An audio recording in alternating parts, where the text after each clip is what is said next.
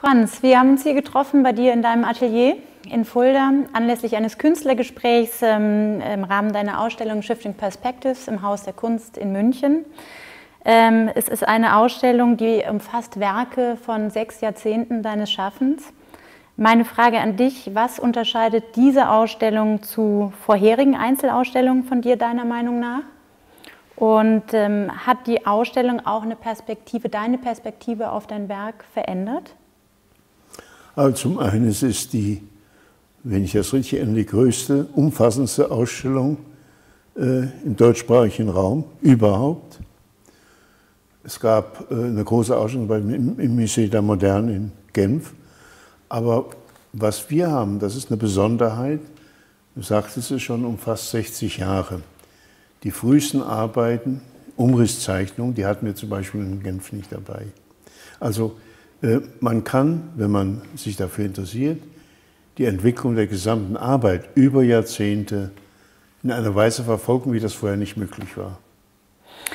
Wenn man die Ausstellung auch als Chance begreifen möchte, deinem Werk in seiner Vielgestaltigkeit zu begegnen, ähm, stellt sich mir auch die Frage, was ähm, haben die Werkgruppen gemein? Lass uns doch vielleicht einfach mal zurückgehen zu einer deiner allerersten Arbeiten, die letztlich auch das Kampagnenmotiv der Ausstellung geworden ist, nämlich ähm, das Werk Versuch, eine Skulptur hm. zu sein, Speyer. Äh, du musst so im Alter von 18, 19 Jahren gewesen sein, als du dieses Werk geschaffen hast.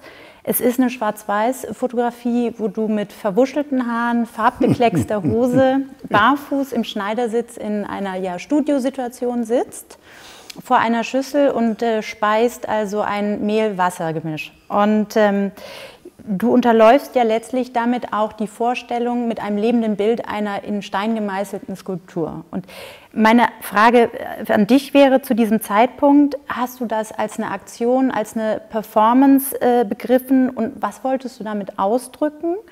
Und ähm, hast du zu dem Zeitpunkt für dich auch schon den Körper als Material verstanden? Also die Forschung einer Performance habe ich nicht gehabt. Der Anlass war im Grunde ganz einfach. Ich war intensiv mit Malerei befasst. mit Malerei kann man einmal ein bestimmtes Tempo erreichen, was mit Skulptur damals nicht möglich war. Das Moment des Prozessualen im Malen war im Skulpturalen nicht möglich. Man konnte äh, sukzessive Änderungen vornehmen, Dinge zurückdrehen, äh, vorwärts drehen. Das ging damals in der Skulptur nicht. Ich habe da einfach Überlegungen gehabt, wie könnte man das skulptural, ohne mit tradierten Medien zu arbeiten, also die so ganz langsam, etwa Plastik, das Antragen mit Ton oder Skulptin von äh, Holz oder Stein etwas wegnehmen. Wie könnte man das, wie könnte man dem Tempo verleihen? Wie könnte man dem was Prozessuales verleihen? Da war spontan plötzlich die Idee da mit dem eigenen Körper. Und das war auch mit der Handlung verbunden, wenn die Aufnahmen richtig gesetzt würden, dann äh, wäre es so, dass die Betrachter, so dachte ich, äh, in Betrachtung dieser Skulpturen eigene Skulpturvorstellungen entwickeln, mit dieser Geste. Es sind insgesamt, wenn ich das richtig erinnere, 24 verschiedene Posen entstanden. Und dies schon besonders, die wir jetzt ausgewählt und du ausgewählt hast für die Ausstellung. Die hat übrigens auch einen biografischen Charakter. Mhm. Wir hatten ja zu Hause Bäckerei, Konditorei. Und man wollte mich in diesen Betrieb einbauen, was nicht möglich war. Und ich speise sozusagen mit diesem Gemisch äh, das Ganze, die ganze Familiengeschichte aus. Also auch bei den anderen äh, äh Aufnahmen ist immer ein biografisches Moment dabei. Es ist also nicht nur formal. Aber das Entscheidende ist, dass es prozessual ist, temporär und ich konnte mit dieser Geste sozusagen Tempo verleihen. Mhm. Ähm, das sind zwei sehr schöne und wichtige Schlüsselbegriffe, die uns in der Auseinandersetzung mit deinem Werk immer wieder begegnet sind. Das Prozessuale und auch das Thema Tempo und Zeit hast du gerade genannt, was ich sehr spannend finde. Ähm, du hast dich aber nichtsdestotrotz bei dieser Arbeit entschieden, ähm, sie fotografisch festzuhalten. Und da meine Frage an dich, war der Körper nicht dennoch für dich auch eine Chance, ein Bildverständnis zu überwinden und ein neues vielleicht zu begründen? Also bei den Aufnahmen habe ich sehr wohl eine Bildvorstellung gehabt. Mhm. Das kann man darin sehen, ich habe im Hintergrund, das ist auf der Aufnahme zu sehen, eine große Nesselfläche aufgespannt und habe mit zwei, drei Scheinwerfern das Licht so gesetzt, dass eben nicht die klassische Beleuchtung einer, der Abbildung einer Skulptur von links nach rechts ist, mhm. sondern dass von verschiedenen Seiten das kommt. Und die Schatten auf die Leinwand geworfen werden. Also das fand ich als, äh, wichtig als Bestandteil äh, der Aufnahme und des Bildhaften dabei. Äh, und immer, ich wollte damit, das erinnere ich noch, ähm, dem Foto etwas Eigenartiges geben. Also nicht eine klassische Abbildung, sondern das Foto selbst sollte Eigenwert bekommen durch diese Lichtsetzung mhm. und die besondere Lichtsetzung. Mhm. Und natürlich habe ich, wenn ich das noch sage, über den Körper nachgedacht, welche Funktion hat er dabei. Ja? Das ist so eine merkwürdige Mischung aus Bild, Skulptur gewesen. Äh, das Moment des Zeitlichen war mir klar, äh, dass das für einen Moment existiert. Das waren alles faszinierende Vorstellungen. Mhm. Ähm, du hast eben gesagt, dass in bestimmten Arbeiten äh, immer auch ein biografisches Moment äh, mhm. hineinspielt. Du hast kurz über deine Herkunft berichtet in Fulda und deine Familie. Vielleicht kannst du uns auch mal kurz beschreiben, ähm, wie die damalige Umgebung Fulda, auch mit seiner Nähe zu Documenta, ähm, auch der Besatzungsmacht USA, die präsent war, oder dann deine Zeit in Offenbach. Äh, aber auch an Frankfurt an der Städelschule. Inwiefern dich das künstlerisch geprägt hat, vielleicht unter dem Aspekt der Entdeckung des Prozessualen und der Handlung als zwei Leitlinien, die sich durch dein gesamtes Werk ziehen? Also in Fulda gab es zu der Zeit in Bezug auf Gegenwartskunst nichts. Mhm. Es gab weder eine Galerie, noch ein Museum dazu, noch eine Sammlung, nichts. Ich habe mich informiert über Zeitschriften. Das war ab Ende 58 möglich. Ich hatte einen Künstlerfreund, der war Art Instructor in der amerikanischen Kaserne. Er hat also Unterricht gegeben und er brachte amerikanische Kunstzeitschriften mit der von uns gegründeten Galerie. Das war meine eigentliche Informationsquelle. Dokumenta war ja ein Jahr später. Die war dann sehr wichtig für mich, weil ich dort äh, zum ersten Mal Originale der Gegenwartskunst äh, begegnet bin. Das erinnere ich auch noch, wenn ich diese Zeitschriften durchgeblättert habe, die amerikanischen Kunstzeitschriften, Art America, Dinge, dann musste ich immer die Inches in Zentimeter umzurechnen, um zu verstehen. Und habe dann festgestellt, das sind ja Riesenformate, wie geht denn das? Die gab es hier überhaupt nicht. Ähm, also das war die erste Information, äh, Informationsquelle. Und die Dokumenta, äh, ich bin dort eigentlich äh, hingefahren, um Wohls und Pollock zu feiern. Ich wusste, die gibt es dort in großem Maßstab, die von mir geliebte Improvisationskunst des Informell. Und bin dann, die habe ich auch gefeiert, ich fand das alles großartig, und bin dort aber auf was ganz anderes gestoßen, was ich als viel radikaler, neuer und zukunftsweisender empfand. Das waren Bilder von Barney Newman, eine große monochrome Fläche mit einer Linie, drunter läuft. Ich habe mir die Frage gestellt, wie kann das ein Bild sein? Immer noch mit dem Hintergrund Kompositionsdenken. In dem Sinne war das nicht lesbar. Das hat mich beunruhigt. Und unter dem Dachgeschoss die perforierten, geschnittenen Bilder von Lucia Fontana, das hat mir die Bildbegriffe, die ich mitbrachte, völlig außer Kraft gesetzt. Mhm. Also das war ein wichtiges Erlebnis. Ich bin völlig irritiert zurückgefahren und dann wieder zu Documenta gefahren. Und all das, was dann hier in Fulda passierte, das hat von dem Moment an überhaupt keine Rolle mehr für mich gespielt. Und ich bin auch mit diesem Erlebnis an die Städelschule gegangen.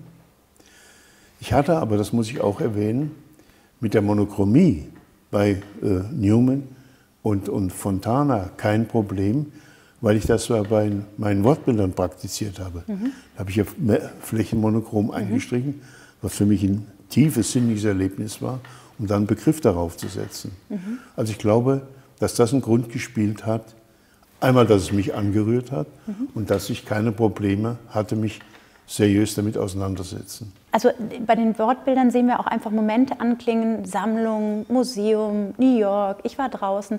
Es sind so viele Momente, wo man irgendwie deinen Kosmos greifen kann, in dem du dich äh, intellektuell bewegt hast, dass du dir sehr bewusst gewesen bist, auch über ein System, was hinter, dem, hinter der Kunst steht, ein Kunstbetrieb. Mhm. Ähm, würdest du sagen, das war auch schon eine Form von System? War das systemkritisch auch gedacht? Also zunächst mal habe ich mir die Frage gestellt, erstmal wollte ich eine Beteiligung. Mhm. Das fing ja mit den Umrisszeichnungen an, mit der Vorstellung, das war noch vor dem Studium, dass ich zunächst mal, stellvertretend für jeden anderen Betrachter, die Binnenräume imaginativ führen, also handeln. Mhm. Das war mein Grundgedanke bei diesen äh, Wortbildern, dass die Betrachter die Farbigkeit, die Schrift, natürlich den Begriff weiterentwickeln zum Bild, also handeln. Mhm. Das war der Grundgedanke bei dem Ganzen. Ich hatte aber auch ein Bewusstsein, dass ich präzise Farben in dem Zusammenhang wählen muss, auch die Proportionengröße äh, der Papierbögen oder Kartonbögen, auf die ich das draufsetze, und die Schrifttype. Also ich habe die Schrifttype nicht typografisch verstanden, sondern durchaus inhaltlich, mhm. Inklusive der Farben. Mhm. Dann hast du dich entschieden, du bist dann an die Städelschule gewechselt und mhm. hast dort auch äh, Materialprozesse vollzogen und dich mit Materialien ja. beschäftigt ja. im Thema Prozess. Vielleicht magst du uns dazu noch mal was sagen. Naja, das, das hat, äh, hatte mit meiner Auseinandersetzung aus dem Jahr zuvor mit dem Informell zu tun, mhm. dass ich fasziniert war von den Prozessualen im Malen, also der Malprozess. Mhm. Und ähm, dennoch habe ich gesehen, dass dieser der Rhythmus, der da drin war, die Geste, dass das letztlich auch Strukturen und wenn man so will auch Gestand bildet. Und da wollte ich noch, ich wollte es noch weiter radikalisieren. Und so bin ich auf die Idee gekommen, einmal irgendwann die Farbe wegzulassen mhm.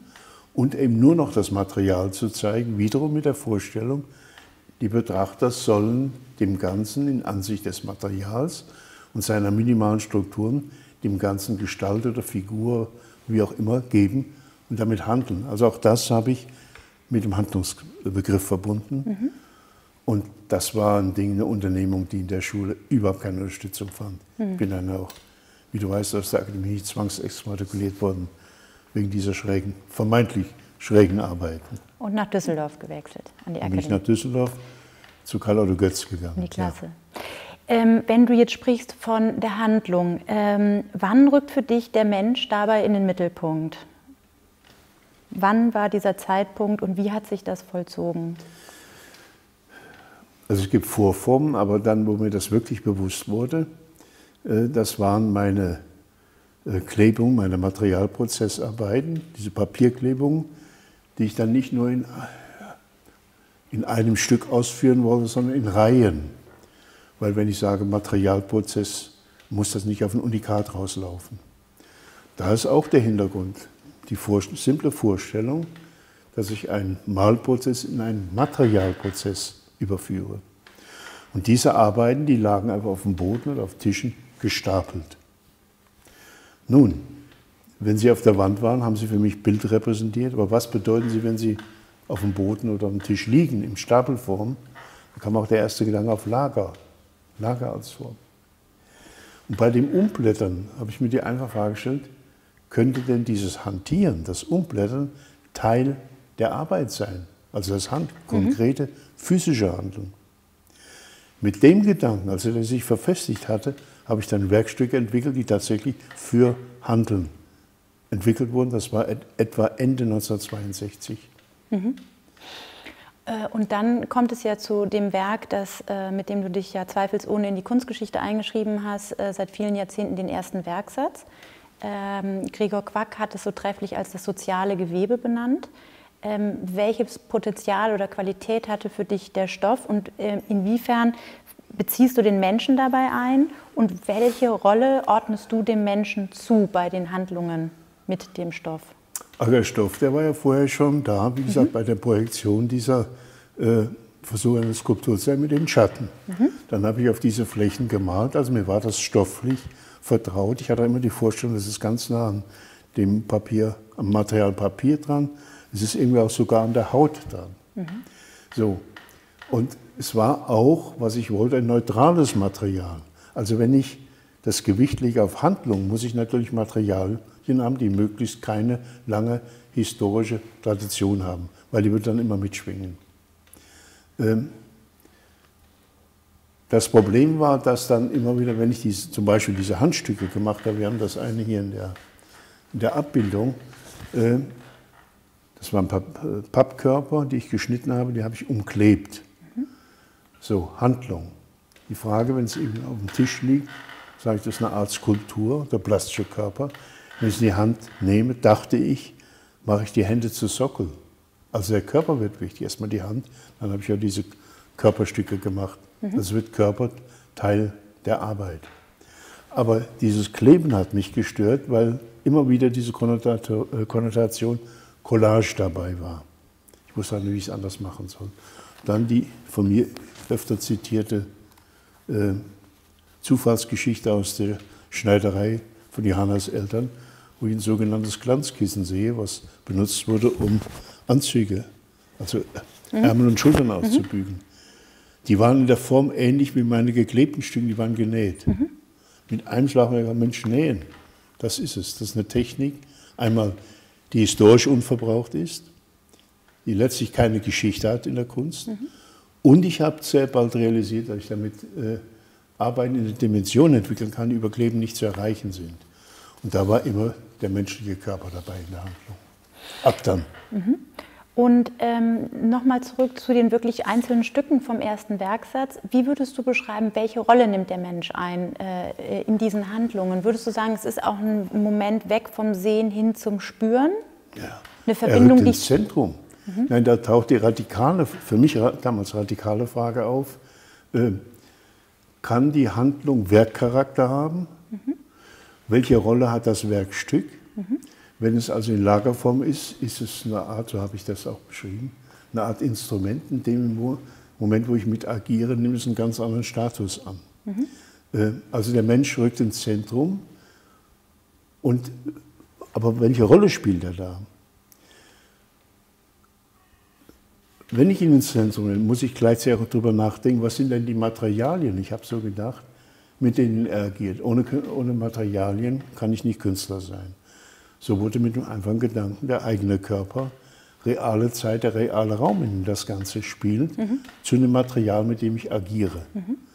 Und äh, der menschliche Körper äh, in Verbindung mit diesen Handlungen wird Werkbestandteil.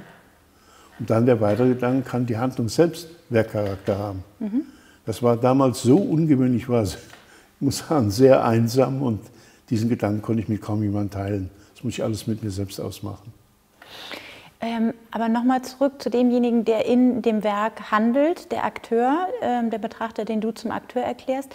Ähm, da ist ja auch was mit Empfindsamkeit, was mit einem passiert. Das heißt, ich lasse mich ja auf ein Gegenüber ein. Wenn wir äh, beide einander in einer Schlaufe stehen über eine gewisse Distanz, spüre ich ja jede Balance, jeden Moment. Ich spüre deinen Körper auf Distanz. Du setzt, versetzt ja auch äh, diejenigen mhm. in eine gewisse Situation des Empfinden und Fühlens. Würdest du auch sagen, dass der Akteur einer Transformation äh, unterliegt bei diesem Akt? Also da Unbedingt. eine Form von Empfindsamkeit? Unbedingt. Die du, äh, das war ein großer Text. Schritt für mich, überhaupt eine zweite oder dritte und mehrere mhm. Personen in der Handlung zu denken. Wie ist das überhaupt möglich? Eine Werkvorstellung auf mehrere Personen verteilt. Das tauchte zum ersten Mal, und da habe ich es auch, äh, äh, denke ich, klar äh, artikuliert, ist mhm. die Elfmeterbahn von 1965. Mhm. Zwei Personen entwickeln. Das war für mich damals ein Riesenschritt. So. Ähm, da über vieles nachzudenken, auch darüber, was ist denn überhaupt ein Werk?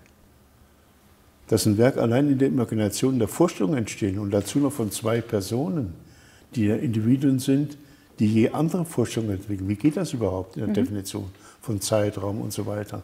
Das war zunächst mal einfach ein Riesenbündel von Problemen, auf die ich keine Antwort hatte zu Beginn. Mhm. Du hast diese Aktivierung durchgeführt im Nachkriegsdeutschland in einem bestimmten gesellschaftlichen Kontext. Würdest du sagen, die Aktivierungen funktionieren heute anders äh, im Toronto oder München der 2020er Jahre? Also ich meine, du hast sie an vielen Orten vollzogen und ähm, es können unterschiedliche Situationen auch entstehen, Bilder entstehen, die im jeweiligen gesellschaftlichen Kontext ja vielleicht auch anders gelesen werden können. Also der, finde ich, den, der größte Unterschied ist, dass damals den Arbeiten enorme Skepsis entgegengebracht wurde und Widerstände. Mhm. Also eine Handlung, wie ich mir sie vorgestellt habe, war mit einigen Freunden leidlich möglich, aber eigentlich nicht wirklich. Mhm. Das hat sich total geändert. Es ist heute eine Zuwendung da und Verständnis dieses Gestus, dass eine Handlung Werkcharakter haben kann, den konnte ich damals mit niemandem teilen. Das ist eigentlich der größte Unterschied. Mhm. Und äh, was auch ein bedeutender Unterschied ist, damals haben außerhalb meiner Definition völlig die Begriffe gefehlt, um das als Kunstdimension zu beschreiben. Mhm. Da tauchten alle möglichen Begriffe auf, die letztlich mit der Sache gar nichts zu tun hatten, nur wenig. Mhm. Das hat sich auch geändert. Mhm. Also heute ist es möglich, dass eben das vom Kunstkontext her über zulängliche Begriffe beschreiben, beschreiben mhm. werden kann. Und es ist heute eine Akzeptanz, mal zu sagen, das ist Teil der Kunst oder der Kunstgeschichte. Das schien damals, also Anfang der 60er Jahre, mhm. völlig außerhalb jedes Kunstkontexts zu stehen.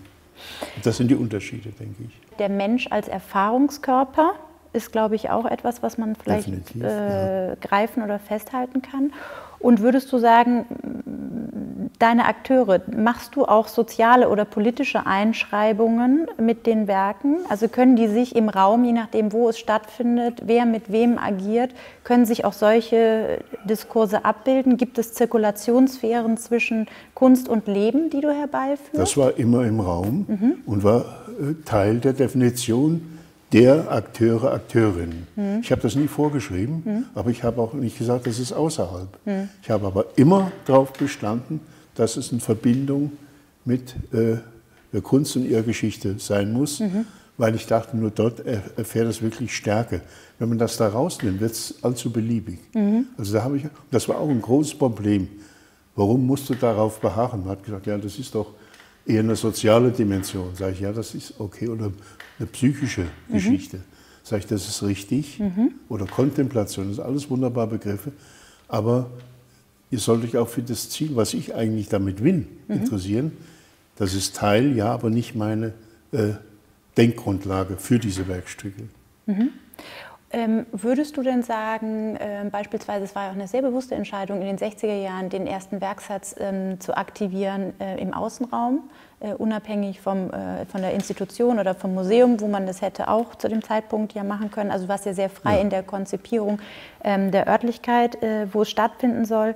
Ähm, nichtsdestotrotz gibt es sehr viele Momente in den Arbeiten, die auch eine soziale Qualität haben, wenn alle auf einem äh, Quadrat sich auf den Boden setzen. Ich glaube, sich Anfang der 60er hätte sich noch lange nicht jeder hm. zu jedem auf den Boden gesetzt Richtig. und so weiter. Ja. Also beschreibt es ja irgendwie denn dann doch auch einen Status der Öffentlichkeit und der Gesellschaft, in dem sie sich gerade befindet.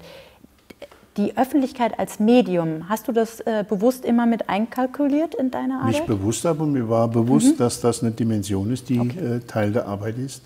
Dieses Hinausgehen in die mhm. Außenräume, mhm. das habe ich hier nicht gemacht als Manifestation, wie es etwa die Landart gemacht hat als Thema, mhm. sondern ich habe es zunächst machen müssen, weil Arbeiten Dimensionen angenommen haben, die in Innenräumen nicht mehr funktionieren. Mhm. Und erst in dem Zusammenhang habe ich die Außenraum, den Außenraum als Definition entdeckt. Mhm. Wenn ich ein Werkstück, sagen wir was, in Innen- und Außenräumen aktiviert werden kann, ist in Innenräumen immer ein Dialog mit dem gegebenen architektonischen Raum. Der Umraum ist schon definiert. In Außenräumen, also die Außenräume, die ich bevorzugt habe, deswegen waren eigentlich Parks ausgeschlossen, weil da eine Pseudo-Gestaltung mhm. vorhanden ist, wird in den Aktivierungen Raum überhaupt geschaffen oder definiert. Das war eine Dimension, die in Innenräumen nicht möglich war. Mhm. Das war ein gigantisches Erlebnis für mich damals. Mhm. Und natürlich ist dann immer eine soziale Dimension mit drin gewesen. Ich wollte immer, es gibt es auch in dem Tagebuch äh, äh, als Notat, aus der Geschichte austreten. Mhm. Das klingt, das ist ein sehr dickes Wort. Ich war, als ich das geschrieben habe, 23 Jahre alt aus der Kunstgeschichte war gemeint. Ich habe nicht gemeint, also die Geschichte taugt nichts mehr, sondern das, was ich damit sagen wollte, war, dass das, was ich in der Kunstgeschichte zu der Zeit vorgefunden habe, dass das zu beengend ist und meine Arbeit nicht wirklich aufnehmen kann. Da wollte ich austreten.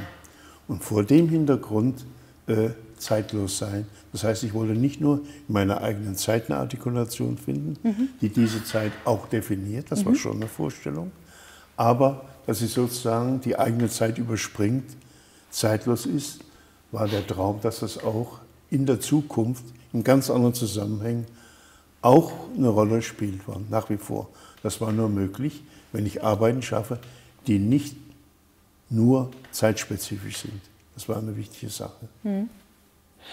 hast noch eine zweite Frage dabei. Ja, wir kommen noch mal zurück zu der aktuellen Situation, die uns ja alle so wahnsinnig äh, äh, betrifft zurzeit und auch einschränkt oder herausfordert oder auch zu Neuem fordert. Und wir haben gemeinsam im Gespräch ähm, die Arbeit Anwesenheit als eine Neuproduktion mit dir entwickelt, dass ähm, die auf, ja, auf Sprache basiert und äh, eben während des ersten Lockdown im vergangenen März entstanden ist. Und mhm. es sind äh, vier aufeinanderfolgende Sätze, die äh, eben wir auf die Westfassade vom Haus der Kunst projiziert haben und auch wieder projizieren jetzt.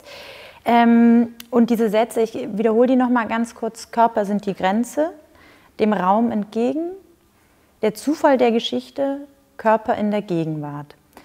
Und du wirkst ja hiermit auch in den Außenraum hinein, in München, durch die Medien und welche Nachricht oder Fragen möchtest du den Menschen damit übermitteln mit der Arbeit? Also zunächst mal, die kommen aus meinen Erfahrungen aus den Werkhandlungen. Mhm. Ich vermute, ich habe nie nachgeguckt, aber ich vermute, dass es diese Sätze oder ähnliche Sätze in Werkzeichnungen der 60er Jahre gibt. Mhm. Das waren elementare Erfahrungen in den Handlungen. So, die sind gebunden jetzt in klein, eher kleinformatigen Zeichnungen so wie es jetzt, also mit dieser Entwicklung, dass sie im Ausland projiziert werden, äh, da ist eine für mich erstaunliche Wirkung entstanden. Mhm. Ich habe so viele äh, ja, Anrufe bekommen, ich habe Briefe bekommen, die von dieser Geschichte fasziniert waren. Das habe ich überhaupt nicht erwartet. Mhm. Also enorm. Es ist einmal eine Fremdheit da in den Sätzen. Es ist gleichzeitig auch scheinbar was Vertrautes da. Es kann wie eine Metapher wirken und es wirkt auch heute vor der heutigen Situation äh, wie eine Beschreibung. Mhm. Also sehr ambivalent das Ganze. Ich kann mir die Wirkung nicht anders erklären. Das, mhm. ist, äh, das kann ja nicht das Grafische sein. Kommunikation für dich ist schon auch ein, ein zentrales Moment, auch mit deinem Gegenüber, deinem Betrachter Definitiv. des Werks oder des, äh, des Also das Akteurs. ist ja nicht eine Puppe, die mir gegenübersteht. Das denke ich immer mit. Ähm, Deswegen auch, ich schreibe auch nicht vor, was ist zu denken, zu empfinden. Wie, außer es sind bestimmte Handlungsabläufe, die in der Arbeit gegeben sind, die sind zu beachten, weiter nichts. Sonst kann das ist offen für alles Mögliche. Es gibt natürlich interessante äh, Formulierungen oder Erfahrungen, Projektionen, äh, Konzeptionen, äh, Formulierungen und weniger interessante. Mhm. Ich habe über die Jahre von einer ganzen Reihe von Leuten, die agiert sind, Dinge gelernt, auf die ich gar nicht gekommen wäre. Und die habe ich als Erfahrung in meine, primär auch in meine Werkzeichnung eingebaut. Also es ist sehr komplex. Es ist grundsätzlich meine Erfahrung, aber auch die Erfahrung, die Formulierung von anderen Akteuren, Akteurinnen. Mhm. Also äh, Sprache als ein sehr äh, interessantes Instrument, auch was beidseitig äh, ja, funktioniert. Ja, ich habe es im Grunde ja. zu einem bildkünstlerischen Material gemacht. Mhm. Anders als es die äh, Konzeptkünstler gemacht haben. Das muss ich noch mal betonen. Es war ja vorher. Ja. Ähm, das ist ganz anders. Also das ist, ähm, die Konzeptkunst arbeitet anders. Es gibt schon äh, gewisse, ich kann nur sagen, Verwandtschaft in einigen Teilen. Mhm. Aber, ähm, Hast du da Aspekte, die dir wichtig sind, die du. Na, für die mich war immer wichtig, dass das Ganze bildhaft formuliert wird. Mhm bildhaft, aber so, und das ist eine Balancegeschichte. Einerseits bildhaft, mhm. ich kann es als autonome Zeichnung sehen. Andererseits hat es also auch einen Instrumentcharakter, einen Partiturcharakter. Also ich kann es weiterdenken. Mhm.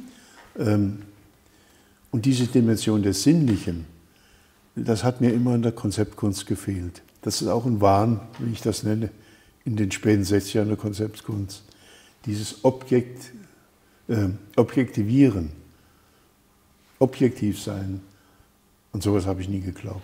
Jetzt sind wir ja bei zwei ganz zentralen Schlüsselmomenten in deinem Werk angekommen, nämlich äh, das Gegenständliche, das Objekt und auch das Subjekt, der Mensch. Und ähm, du schaffst ja auch am Beginn deiner Karriere eine Vielzahl von, ja, sagen wir mal, plastischen und zugleich auch bildhaften Kippfiguren.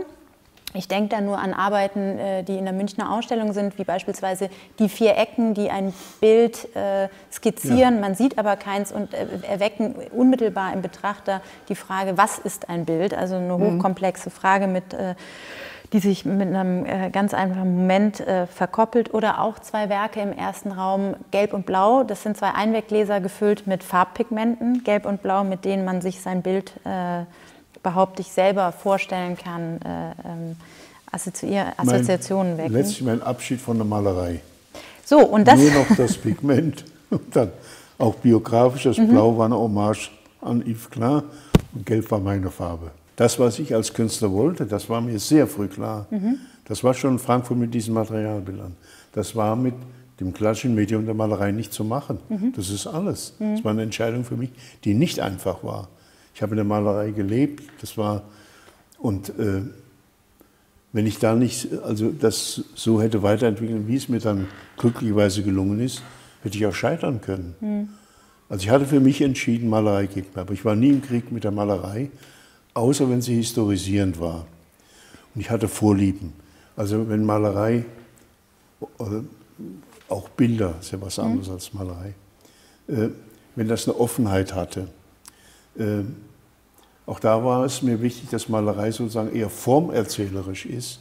Also Malerei, die Geschichten erzählt, die hat mich weniger interessiert. Von daher habe ich zum Beispiel zum Surrealismus, sofern er sich auf Abbildhaftes, mhm. auch wenn es also äh, psychische Geschichten sind, habe ich mich sehr interessiert.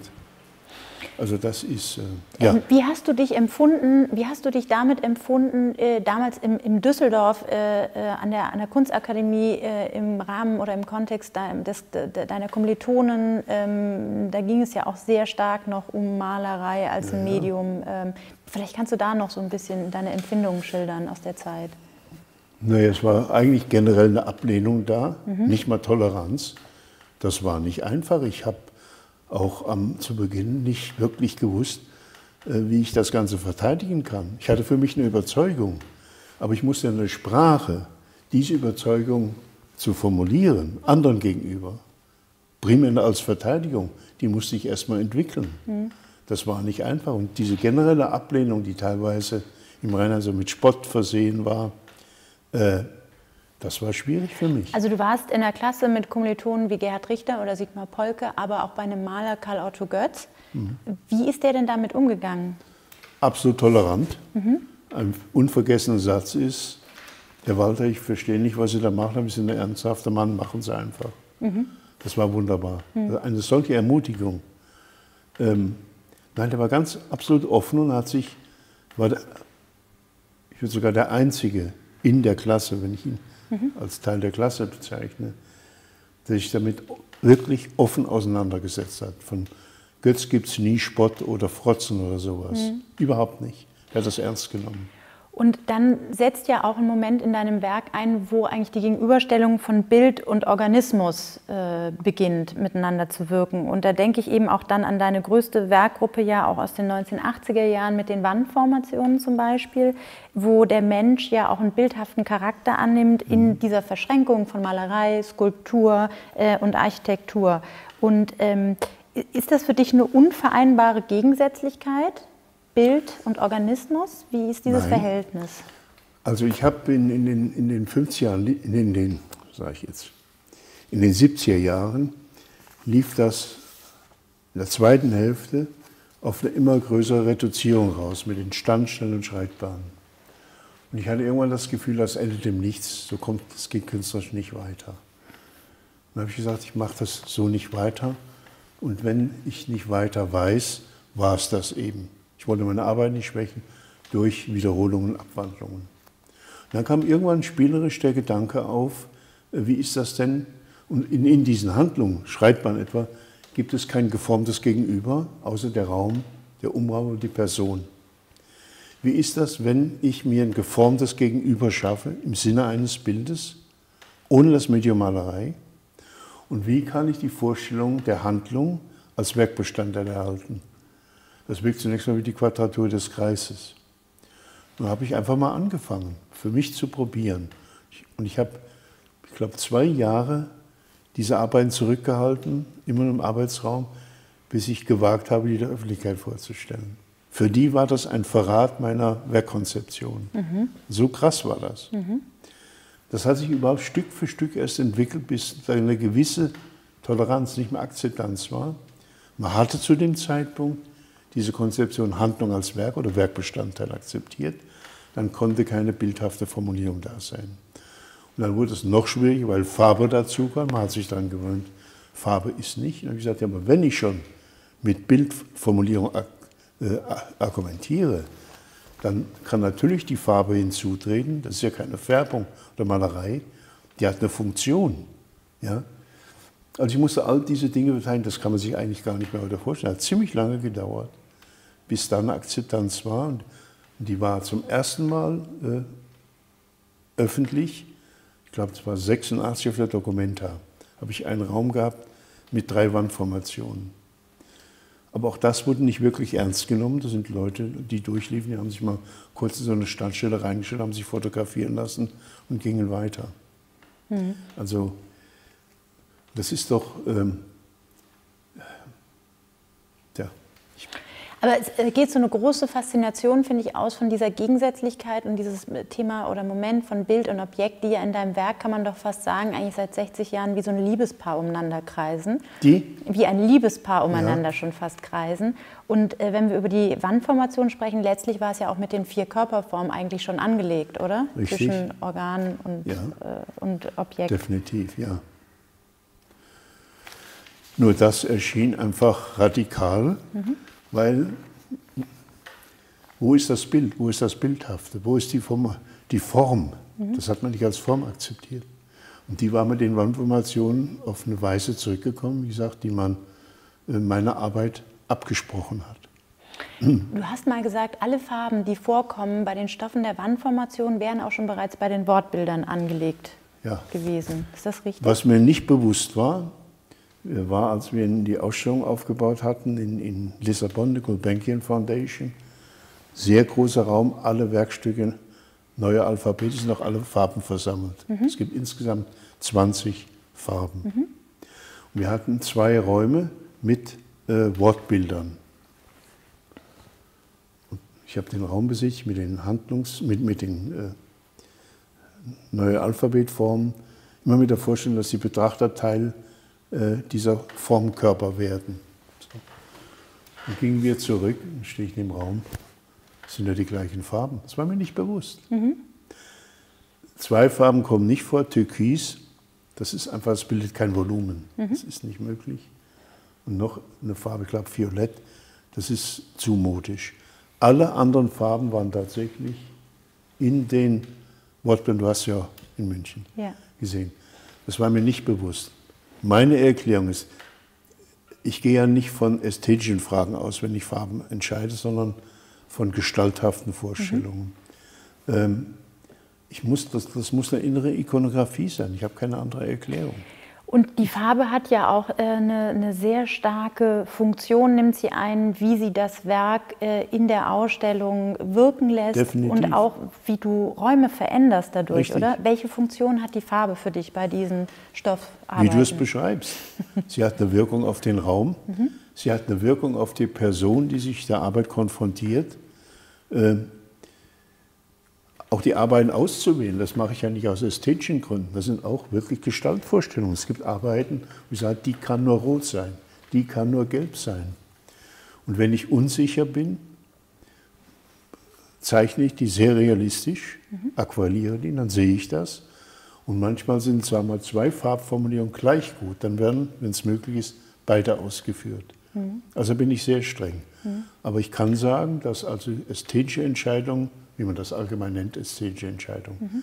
Die spielen dabei keine oder eine sehr geringe Rolle. Mhm. Jedenfalls be bestimmen die nicht die Entscheidung für die Farbe oder wenn es zwei oder drei Farben sind, wie das zusammenkommt. Mhm. Und dann noch in dem Zusammenhang, deine erste Frau Johanna näht ja bis heute für dich die Exponate äh, als äh, Werkkollaborateurin. Du führst sie oder konzipierst sie ja mit Bleistift und Aquarell letztlich. Ähm, nichtsdestotrotz, wann ist dir der Zeitpunkt bewusst geworden, inwiefern du auch Bedeutungen von Architektur völlig unterlaufen kannst mit deinen Werken, Architektur in einen neuen Bedeutungszusammenhang äh, bringen kannst? Also ich spreche übrigens nicht von Architektur, sondern von Architektonik. Architektonik. Mhm. Also erstmal, wie ich diese Dinge entwickle. Wenn ich Forschung habe, und es gibt eine ganze Reihe, sind das sehr kleine, aber dann ja noch präzise Aquarelle, Zeichnung Aquarelle. Wenn ich mich entscheide, die und die könnten realisiert werden, werden die auf so eine Größe gebracht und erst dann kann ich sicher sagen, die sollte realisiert werden. Also ich muss eine bildhafte vorstellen und ich muss sie gleichzeitig auch ohne diese Imagination würde das nicht gehen, groß in reale Räume projizieren.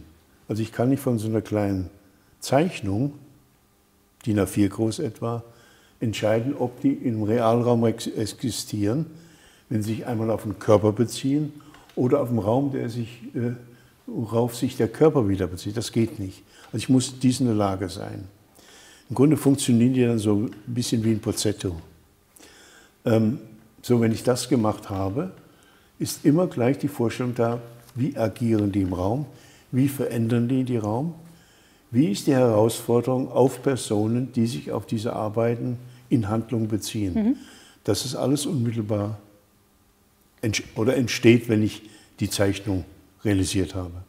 Und ich muss dazu, damit die gemacht werden können, so eine Zeichnung kann ich nicht Johanna geben und sagen, mach mal.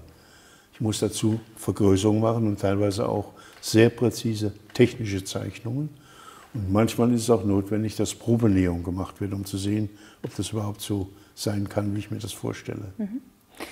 Diese sehr eindrucksvollen äh, äh, ja, Wirkungen, die dieses Werk erzielen kann, eben auf den Betrachter, auch im Kontext nochmal von der Imagination, ähm, da haben wir sehr oft jetzt von dem Begriff eben Skulptur oder du hast ja auch von dem Begriff Skulptur als äh, Handlung gesprochen. Und hier meine Frage: Können wir denn vielleicht auch Handlung als Bild nach unserem Gespräch äh, dem ergänzend neben, nebenan stellen?